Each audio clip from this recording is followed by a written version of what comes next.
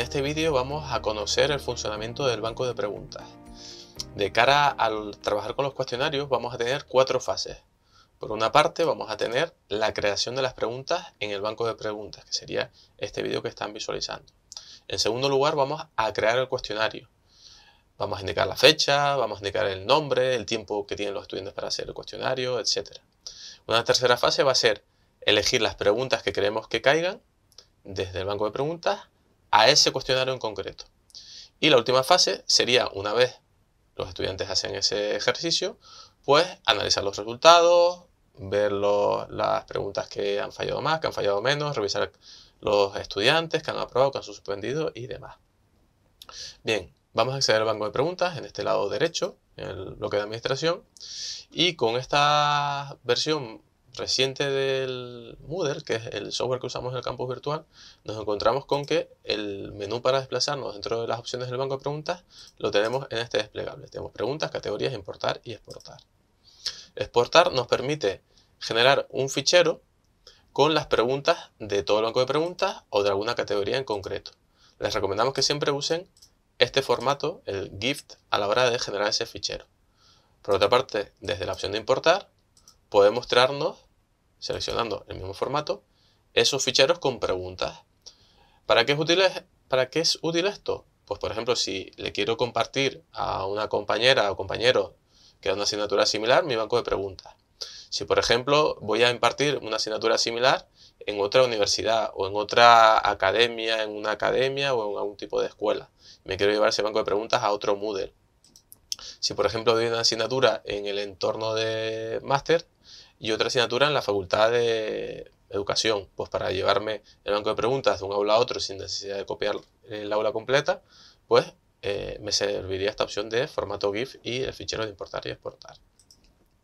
Bien, categorías. Siempre les recomendamos cuando empiezan a trabajar con los, con los cuestionarios que trabajen con categorías. Las categorías son una especie de directorios que nos permiten tener ordenadas las preguntas que vamos preparando. Aquí, por ejemplo, nos encontramos la categoría general y dentro de la misma vemos que se ha creado una estructura que se llama M1, que corresponde a módulo 1, módulo 2, módulo 3, 4 y 5. Y si nos fijamos, el paréntesis que aparece indica el número de preguntas que contiene cada una de estas categorías. En este caso 0, 5, 11, 10 y así sucesivamente. Nosotros podemos crear categorías y subcategorías. Vamos a crear en el M1, con esta opción de añadir categoría, con este botón, voy a decir que dentro de M1 creo una subcategoría que se llame M1 tema 1. Y voy a añadir otra que dentro de M1 se llame M1 tema 2. En este caso, el módulo 1 tiene 5 preguntas y las dos que acabo de crear tienen 0 preguntas. Cuanto más ordenado tengamos las preguntas, nos va a ser mucho más fácil de trabajar con el banco de preguntas en el futuro. Igualmente, el tenerlas bien categorizadas nos va a dar más flexibilidad a la hora de confeccionar eh, cuestionarios, ya que podemos decir, oye, de esta categoría que sé que es sobre este tema, quiero que caigan dos preguntas. De esta otra quiero que caigan cinco. De esta quiero que caigan cinco al azar, etc. Sin embargo, si tuviese todas mis preguntas juntas, todas unidas en una misma categoría, no me permitiría el sistema hacer ese tipo de cosas que acabamos de comentar. Las categorías podemos con la papelera eliminarlas, podemos editarlas con, la, con el engranaje, cambiarles el nombre y podemos con la flecha jugar a cambiarlas de orden y a añadirlas dentro de una categoría u otra. Por ejemplo, si yo aquí pulso la flecha de la izquierda, lo que hago es saco la M1 tema 1 a la línea principal. Si la quiero volver a meter dentro de la categoría M1, pues le doy a la flecha de la derecha. Bien, voy a irme a una de ellas, me voy a ir a la M4, por ejemplo. Y aquí ya lo que he hecho es, me he pasado a la pantalla de banco de preguntas, es decir, me he pasado a preguntas. En este caso visualizando las de M4 y veo que tiene 10 preguntas. En esta pantalla hay dos opciones, dos checks que son interesantes que, que conozcamos, que es, por un lado, mostrar el enunciado, que nos permite ver ya el enunciado de la pregunta. Si es muy largo se va a ver truncado. Si yo lo desmarco no veo los enunciados. Y la otra opción interesante es lo de que me muestren, esto de aquí, las preguntas de la subcategoría. Si yo lo muestro, en este caso no cambia nada. Pero si yo me voy a M1, tema 2, veo que no hay ninguna pregunta. Si me voy a M1, 5, veo que hay 5. Pero si me voy a la principal, que en principio tiene 0 preguntas, voy a ver muchísimas preguntas aquí. ¿Por qué? Porque me está mostrando todas las preguntas de todas las subcategorías que contiene. Es decir, estoy viendo hasta 5, las 11, las 10, etc. Entonces es importante conocer estos dos checks para poder trabajar con más flexibilidad. Bien, vamos a ver los tipos de preguntas que, de las que dispone la plataforma. Vemos que son bastantes, pero normalmente el profesorado eh, las que está utilizando en la mayoría de los casos son opción múltiple y ensayo. Nos vamos a detener un poquito más en esas dos. Bien, opción múltiple me permite hacer una pregunta y dar varias posibilidades de respuesta. Esas respuestas podemos nosotros indicar que solamente se pueda indicar una respuesta o bien que el estudiante pueda marcar varias de ellas. La típica pregunta de responde todas aquellas que sean correctas. Pues ahí permitimos que respondan varias. Opción múltiple además tiene la particularidad de que permite que penalicemos, es decir, que una pregunta respondida erróneamente reste en cuanto a las preguntas respondidas correctamente. Verdadero o falso, el estudiante solamente va a poder marcar verdadero o falso tras el enunciado que nosotros demos. Emparejamiento, vamos a dar una cita o vamos a dar una definición y un concepto, un autor, etc. Y el estudiante tiene que emparejar esos dos eh, conceptos, ¿no? Bien la definición con el concepto, cita, autor, etc. Respuesta corta. Nosotros vamos a dar un enunciado o vamos a dar una pregunta y el estudiante tiene que responder con una palabra o con unas pocas palabras. Nosotros como profesores vamos a tener que dar todas las posibilidades, respuestas a esa pregunta que demos por correctas. Vamos a hacer un ejemplo. ¿Quién descubrió América? Pues nosotros como docentes vamos a tener que indicar como respuesta que vamos a dar por correcta, pues por ejemplo, Cristóbal Colón. Y si queremos también, Colón. ¿Vale? Esas dos posibles respuestas. Aquí hay que tener cuidado porque con enunciados o preguntas que puedan tener mucha variabilidad, pues no nos va a ser muy útil esta, este tipo de respuesta. Numérica sería el equivalente, pero donde el estudiante responde con un valor numérico. Aquí lo mismo, vamos a tener que indicar todos los valores que vamos a considerar correctos. Y el sistema es verdad que nos permite indicar un margen de tolerancia sobre el valor numérico. Ensayo. Ensayo es una pregunta de desarrollo. La particularidad que tiene es que si bien el resto de preguntas nosotros estamos ya indicándole al sistema cuál es o cuáles son las respuestas correctas, en el caso de ensayo, puesto que es de desarrollo, no vamos a poder dar una respuesta correcta. Es decir, vamos a tener que corregir estas preguntas a posteriori una vez se haga el cuestionario. Son muy útiles puesto que podemos combinar, por ejemplo, un examen, un cuestionario, donde combinamos preguntas de tipo test junto con una o varias preguntas de tipo ensayo. Y además a esas preguntas de tipo ensayo le vamos a poder dar más peso, más puntuación dentro de ese ejercicio. Bien, a continuación estas tres tipos de preguntas de aquí, de arrastrar, los que nos permite son un poquito más difíciles de diseñar, que nos permite hacer cosas como dentro de una imagen, que el estudiante tenga que arrastrar un concepto o arrastrar una pequeña imagen sobre esa imagen principal, ¿no? Por ejemplo, un esquema de una imagen sobre el cuerpo humano y donde le ponemos el nombre de varios músculos y el estudiante tenga que arrastrarlo sobre la zona exacta de donde se encuentra ese músculo.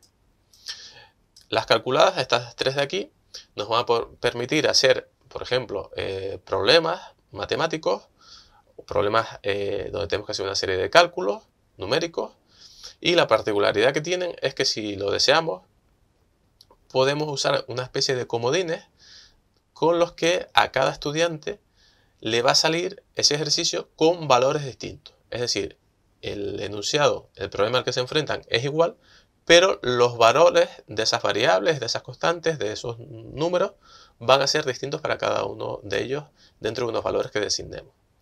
Elige, bueno, emparejamiento aleatorio es muy similar a emparejamiento, es, lo mismo, solo que en vez de tener que estar redactando eh, esta pregunta, va a coger las respuestas, las preguntas de tipo respuesta corta. Dado que respuesta corta ya tenemos enunciado y definición, pues vamos a crear este tipo de pareja, de emparejamiento, este tipo de, preguntas, basándonos en, este tipo de preguntas si ya las tuviésemos redactadas. Con lo cual, pues bueno, le sacamos partido a, crear este tipo de preguntas, puesto que las podemos tener ese trabajo repartido en dos tipos de, preguntas. Y por último, respuesta, elige la palabra perdida y respuestas anidadas. Eh, son textos donde eh, nosotros, en un momento dado, eh, el estudiante va a tener que indicar cuál es el concepto correcto dentro de un desplegable que nosotros le ofrecemos, o bien va a tener que poner cuál es la respuesta correcta, que puede ser una respuesta de texto o numérica, en un espacio en blanco que le va a aparecer. Son los típicos eh, ejercicios de idiomas donde aparece un texto y nosotros tenemos que o bien elegir el vocabulario correcto o el verbo correcto, o bien directamente sale el hueco y nosotros tenemos que poner pues, ese verbo o ese concepto en, el idioma. Suele ser usada mucho en, en, este, en temas de idioma. Por último tenemos descripción. Descripción no es una pregunta, sino es un recurso que nos da el sistema para los cuestionarios. Lo que nos permite es crear una especie de pregunta donde nosotros como docentes vamos a poder incluir un texto, incluir una imagen, incluir un vídeo que, por ejemplo, nos sirva para aclarar o nos sirva para que el, estudiante identifique una nueva parte del cuestionario. Un ejemplo, ¿cuál sería? Pues a lo mejor yo tengo un cuestionario con 50 preguntas de tipo test y 5 preguntas de tipo ensayo. Pues a lo mejor antes de, la, de que empiece las preguntas de ensayo, yo pongo una descripción donde pongo un texto que indica a partir de ahora vas a poder sacar la calculadora y folio y lápiz si lo necesitas. A continuación se vas a encontrar con las preguntas de desarrollo. Pues de esa forma podemos hacer esa aclaración a través de una pregunta de tipo descripción. Bien, vamos a, continuar creando una pregunta de opción múltiple. Vamos a añadir y nos la va a crear en la categoría donde nos encontramos, en este caso la M1, eh, la del módulo 1.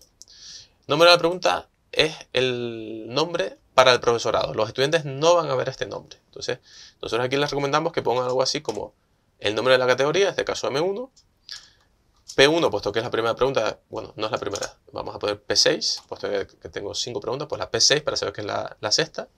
Y aquí algunas palabras que me permiten identificar rápidamente qué va la pregunta. Pues en este caso es la pregunta del módulo 1, la pregunta 6 y va sobre software libre y Moodle. Bien, aquí vamos a poner el enunciado y vamos a decir indica que LMS es software libre, ¿no? ¿Qué plataforma de aprendizaje es software libre de las que le voy a indicar a continuación? Aquí podemos darle formato, podemos poner negrita, incluir enlaces, podemos incluir una imagen, podemos incluir vídeos, etc. El enunciado. Importante.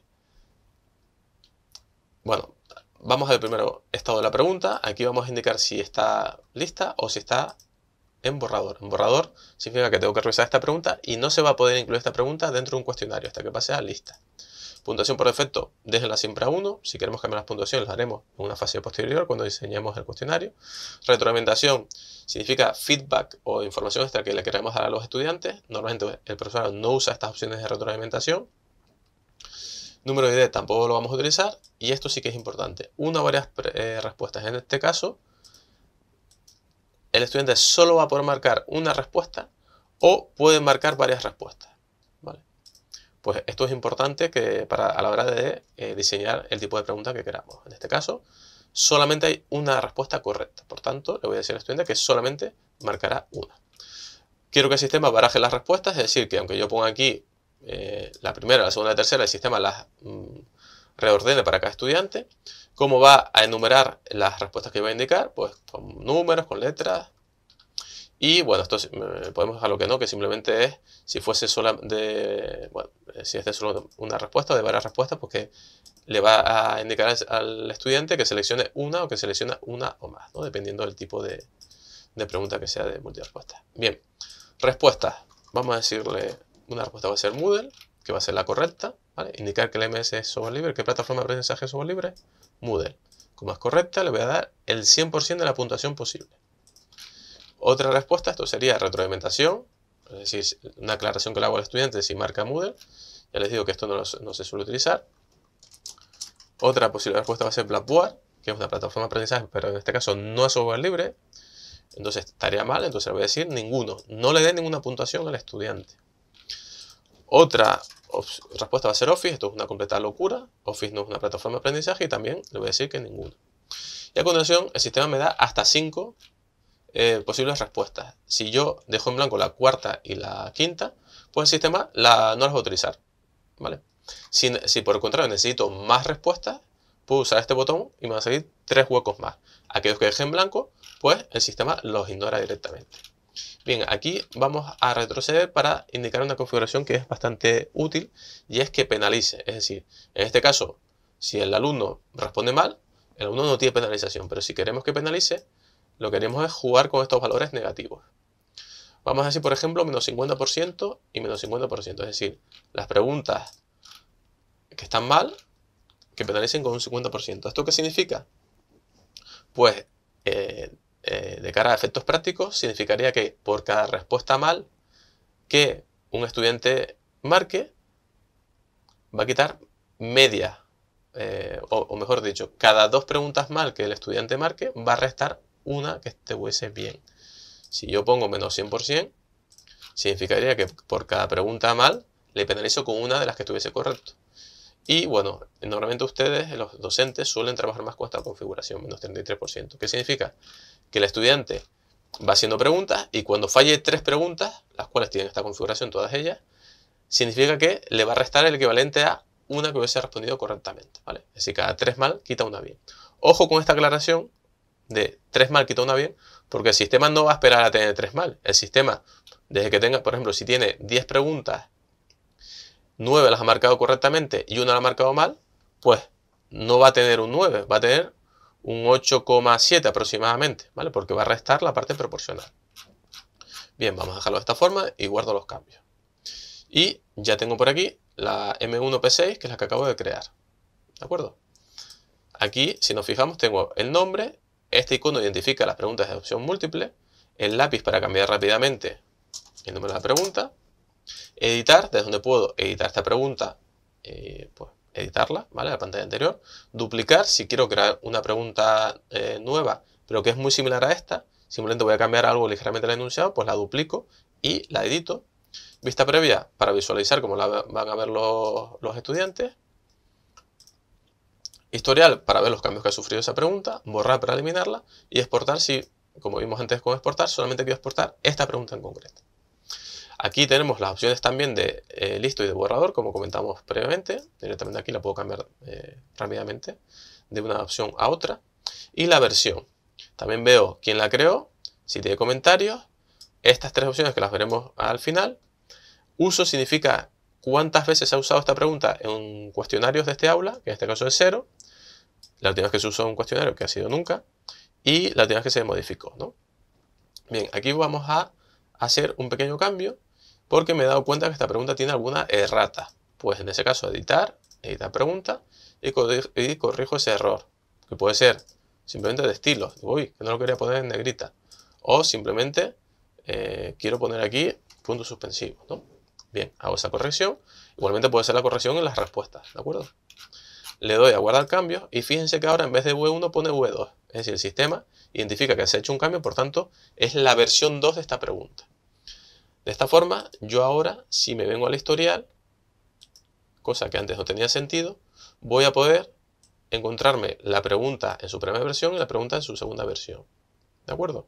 Y puedo ver desde eh, vista previa por ejemplo, voy a poder ver los cambios que se hicieron o cómo era la pregunta eh, originalmente. ¿De acuerdo? Bien, aquí en cerrar, volvería a la categoría de M1 y tengo aquí mi, pregunta. Bien, voy a volver al, aula y vamos a ver información sobre las preguntas. Voy a, volver al banco de preguntas y vamos a ver estas tres columnas. La pregunta que yo he creado en M1 estas preguntas que tengo aquí junto a las que he creado no tienen información. Pero si me voy a M211, estas preguntas sí que las he usado en cuestionarios de esta aula virtual. Aquí abajo tengo dos cuestionarios que han sido realizados por diversos estudiantes. Entonces, esos dos cuestionarios tienen preguntas de esta categoría. Y por ello, en estas tres columnas sí que tenemos información. Bien. También voy a, comentarles la opción esta de comentarios que ven por aquí. M2 cinta fórmula, tiene un 0. Resulta que esta pregunta eh, no estoy seguro si quedó reflejada en los apuntes. Si yo esto lo, vi en, clase o en los apuntes. Entonces yo puedo aquí en el comentario decir, ojo, revisar que aparece en los apuntes. Y le voy a agregar comentario. Aquí veo que hay un comentario realizado por Alberto en esta fecha y con estas indicaciones. Yo al salir de aquí veo un 1. Ya esta pregunta tiene un comentario. Este comentario lo van a ver el resto de docentes de esta asignatura, no lo van a ver los estudiantes. Y es útil porque en un momento dado lo reviso y hago esta comprobación. O hago una anotación. O ojo que durante el examen se plantearon muchas dudas con esta pregunta respecto a tal cosa. Revisarlo. ¿Vale? Con lo cual me permite hacer unas anotaciones que son muy prácticas. En un momento dado yo puedo añadir más comentarios, tanto yo como el resto de profesores de esta asignatura, o puedo eliminar este comentario si ha quedado resuelto. Si yo lo elimino, vemos que desaparece y aparece que tiene ahora cero comentarios la pregunta. Bien, estas tres columnas necesita revisión. Vamos a ir viendo las ayudas que nos proporciona el sistema. En primer lugar, necesita revisión. Se indica que es probable que una pregunta deba verificarse en función de las estadísticas de la pregunta. Por ejemplo, si los estudiantes obtienen una puntuación baja en la pregunta, pero una puntuación alta en el, todo el cuestionario, o al revés, una puntuación alta en la pregunta, pero una puntuación baja en el resto del cuestionario, entonces puede haber un problema con la pregunta. Es decir, me permite identificar fácilmente si mm, pueden necesitar una revisión, puesto que, oye, estudiantes que tienen muy buena nota en el cuestionario, esta la tienen mal. O al revés, estudiantes que tienen el cuestionario con muy, nota muy bajita, pero en cambio la tienen todos bien esta pregunta. Entonces, visualmente, digo, oye, voy a revisar estas preguntas. Índice de facilidad. Vamos a ver qué nos dice el sistema. Proporciona la calificación promedio, en porcentaje, obtenida en la pregunta en todas sus versiones, en todos los cuestionarios los que se ha intentado. Es decir, aquí voy a tener una media de la puntuación. Si yo esta pregunta la he usado en varios cuestionarios que han hecho muchos estudiantes y todos tienen un 100%, pues posiblemente esta pregunta sea demasiado fácil. Sin embargo, si tiene un valor cercano a cero o un valor muy bajito, pues esa pregunta puede que sea muy difícil, que esa pregunta a lo mejor en las clases magistrales mm, no quedó bien clara, o esa pregunta a lo mejor tenga algún problema de redacción que no quede suficientemente clara. Y por último, eficiencia discriminativa, vamos a que nos dice el sistema, es una estimación estadística de que también la pregunta evalúa a los estudiantes, siendo mejor un valor más alto. Un valor que sea bajo puede indicar un problema con la pregunta. Una pregunta muy difícil o muy fácil, es decir, con un índice de facilidad que veíamos aquí, cercano al 0 o cercano al 100, también puede llevar a un valor bajo en la eficiencia discriminativa, es decir, aquellas preguntas que tengan un valor muy bajito, el sistema en principio nos está diciendo que no está realmente ayudando al aprendizaje al estudiante. De esta forma, vemos que el sistema nos va a proporcionar información muy valiosa y que de una forma muy visual nos va a permitir detectar preguntas pues, que a lo mejor pueden contener algún error, preguntas que es mejor que descartemos puesto que son muy fáciles o que sean muy difíciles que necesitan una revisión. Por último, aquí en uso, esta columna nos indica el número de cuestionarios en los que ha sido utilizado cada una de estas preguntas. Y con esto finalizamos la revisión del banco de preguntas. Recordarles que cuando terminen de trabajar con el aula virtual deben de cerrar la sesión y que desde la unidad para docencia virtual nos pueden contactar en cualquier momento para cualquier duda, para cualquier consulta que nos quieran realizar.